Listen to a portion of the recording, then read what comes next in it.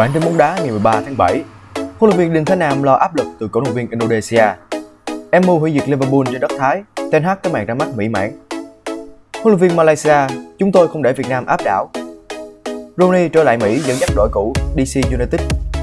Tin nóng chuyển nhượng 13 tháng 7 Ronaldo nhờ Paris Saint-Germain giải cứu khỏi MU bất thời Huấn luyện viên Đinh Thế Nam lo áp lực từ cổ động viên Indonesia. Huấn luyện viên Đinh Thế Nam đang làm công tác tâm lý để các cầu thủ Việt Nam tập trung tối đa cho trận đấu bán kết gặp Malaysia ở giải U19 Đông Nam Á 2022.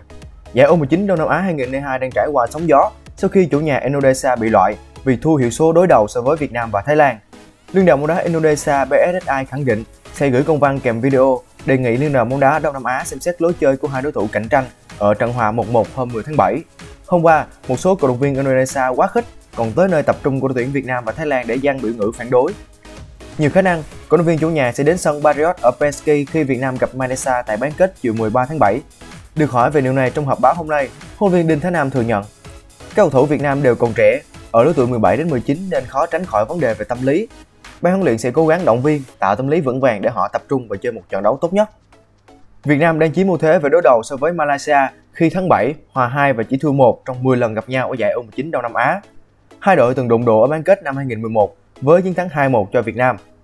Trong khi Việt Nam đang bất bại, Malaysia bất ngờ thua Lào ở lượt cuối bảng B tại giải năm nay. Tuy nhiên, huấn luyện viên Đinh Thái Nam vẫn cảnh giác. Đã vào bán kết tất cả đều có cơ hội như nhau. Chúng tôi tôn trọng, không coi thường bất cứ đối thủ nào. Tôi đánh giá cao tinh thần lối chơi của Malaysia. Họ rất kỹ thuật, nhuần nhuyễn trong triển khai bóng từ sân nhà, kiểm soát 1 phần 3 giữa sân và tấn công nhanh ở 1 phần 3 sân đối phương. Việt Nam được nghỉ nhiều hơn một ngày và có cơ hội quan sát trực tiếp khi Malaysia gặp Lào. Tuy nhiên, ông Nam không cho đó là lợi thế quá lớn bởi Việt Nam phải thi đấu nhiều hơn một trận do nằm ở bảng A gồm 5 đội. Dù sao, Việt Nam cũng sẵn sàng cho trận đấu bán kết. Cả chúng tôi lẫn Malaysia đều phải chuẩn bị tinh thần, thể lực và chuyên môn tốt để đáp ứng cho trận đấu, ông nói.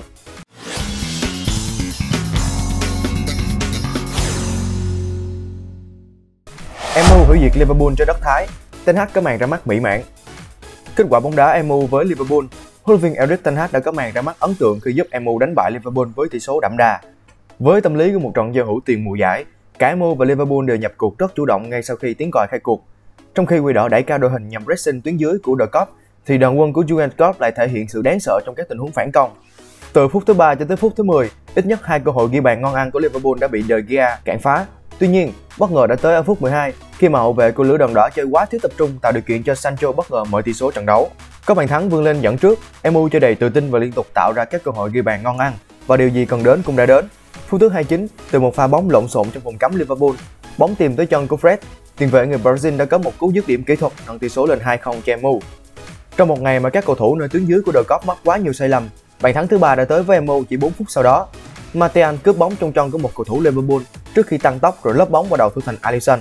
Từ đó cũng ấn định luôn tỷ số 3-0 cho đoàn quân của Erik Ten Hag trong hiệp 1 của trận đấu. Bước sang hiệp 2, nhà cầm quân người Hà Lan quyết định thay 10 trên 11 cầu thủ ra sân, chỉ để lại duy nhất thủ thành David De Gea sự xuất hiện của các tài năng trẻ khiến Liverpool chơi lấn lướt hoàn toàn trong cả hiệp.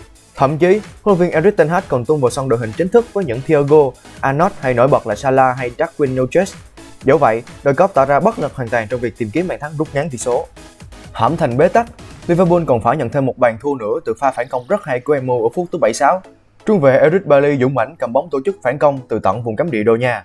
Bóng sau đó được luân chuyển sang Perisic, Elanga và cuối cùng là Perisic, tiền đạo trẻ sinh năm 2001 người Uruguay lạnh lùng dứt điểm quyết đoán đưa bóng dội vào cột dọc trước khi đi vào lưới. Chung cuộc, MU có trận thắng hủy diệt Liverpool trong trận cầu giao hữu tiền mùa giải tại Thái Lan. Chiến thắng này cũng đánh dấu ngày ra mắt đầy thành công của tân huấn luyện viên Erik ten Hag.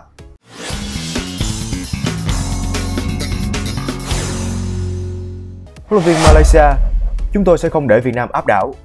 Huấn luyện viên Hassan Salazi khẳng định Malaysia đã có kế sách để chuẩn bị đấu đội mạnh như Việt Nam ở bán kết U19 Đông Nam Á 2022 Việt Nam mạnh bậc nhất giải nên chúng tôi đã chuẩn bị kỹ lưỡng để đối đầu họ, huấn viên Salazi nói hôm ngày 11 tháng 7.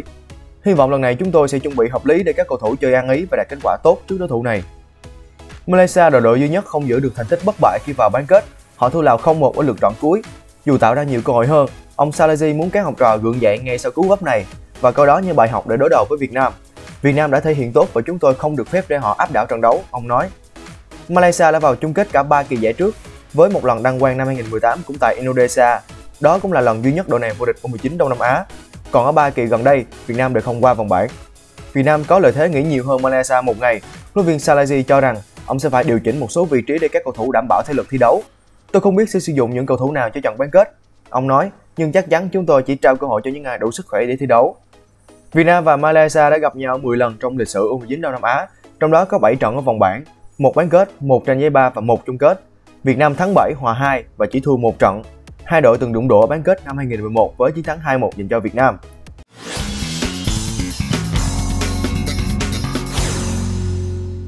Rooney trở lại Mỹ dẫn dắt đội cũ DC United. Huấn viên Wayne Rooney đã trở lại đội bóng cũ DC United theo bản hợp đồng 2 năm để tiếp tục sự nghiệp dẫn dắt non trẻ của mình. Những năm cuối đời cầu thủ, Rooney thi đấu cho DC United từ 2018 đến 2019. Sau khi chia tay với Derby County, Rooney không tìm được một bến đỗ thích hợp ở nước Anh nên quyết định trở lại Mỹ và cặp bến đội bóng cũ theo hợp đồng 2 năm. Cho đến lúc huấn luyện viên 36 tuổi lấy được visa lao động, huấn luyện viên tạm quyền Jack Ashton vẫn tiếp tục công việc của mình. Weiner là một huyền thoại bóng đá và là một trong những huấn luyện viên thú vị nhất gia nhập đội bóng của chúng tôi. Jackson Levan, đồng chủ tịch của DC United cho biết, anh ấy đã chứng minh rằng mình biết phải làm gì để dẫn dắt một tập thể dù tuổi nghề vẫn còn non trẻ. Weiner có sự thấu hiểu về giải đấu và biết cách làm sao để thành công ở MLS nhờ 2 năm thi đấu ở đây. Đam mê khi Weiner còn thi đấu đã truyền động lực cho cả thành phố và chúng tôi rất vui mừng chào đón anh ấy trở lại với tư cách là huấn luyện viên. Trước đó, vào cuối tháng 6, Rooney thông báo với truyền thông về quyết định chia tay Derby County Hôm nay tôi gặp ban giám đốc để thông báo với họ rằng đã đến lúc tôi rời câu lạc bộ. Họ đã rất cố gắng để thuyết phục tôi đổi ý, nhưng tôi vẫn giữ nguyên quyết định. Rooney gia nhập Derby County tháng 1 năm 2020 trong vai trò cầu thủ. Từ tháng 1 2021, cựu tiền đạo MU chuyển sang làm huấn luyện viên. Tại giải hạng nhất mùa trước, Rooney cùng Derby County thắng 14 trận, hòa 13 và thua 19, giành 55 điểm. Tuy nhiên, do bị trừ 21 điểm vì nợ quá nhiều, đội chủ sân Pride Park rơi xuống áp chót và phải xuống hạng, kém nhóm an toàn 7 điểm.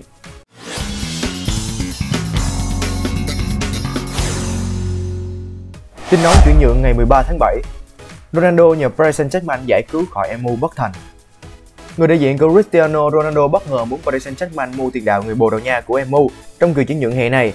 Siêu cò mời Paris Saint-Germain mua Ronaldo liền nhận trái đắng.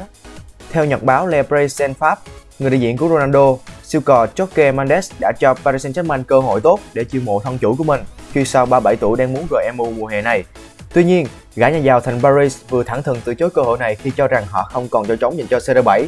Do đã có Lionel Messi, Kylian Mbappe, Neymar và cả Marco Icardi trên hàng công. Raheem Sterling bay sang Mỹ, chờ cùng Chelsea đại chiến Arsenal. Nguồn tin từ tờ Mirror cho hay, Raheem Sterling, ngôi sao chạy cánh của Man City vừa đáp chuyến bay sang Los Angeles, Mỹ để chuẩn bị hội quân cùng Chelsea. Đội bóng của huấn luyện viên Thomas Tuchel có thể công bố cầu thủ này là tân binh của họ trong 24 giờ tới. Sterling sẽ không chơi trận đấu vào chủ nhật ngày 17 tháng 7 ở Las Vegas khi Chelsea đấu Club America. Tuy nhiên, tiền thủ Anh có thể góp mặt trong các trận đấu mà The Blues đã giao hữu với Charlotte 21 tháng 7 hay Arsenal 23 tháng 7. Lewandowski vẫn quyết sang Barcelona. Trên tài khoản Twitter cá nhân của mình, phóng viên Topben Holman của kênh truyền hình Sky Sport News vừa đăng tải đoạn video Robert Lewandowski lái xe đến trung tâm y tế của Bayern Munich để kiểm tra sức khỏe hôm 12 tháng 7 vừa qua. Ngôi sao người Ba Lan vẫn quyết chí chia tay hùng xám để đến Barcelona mùa hè này.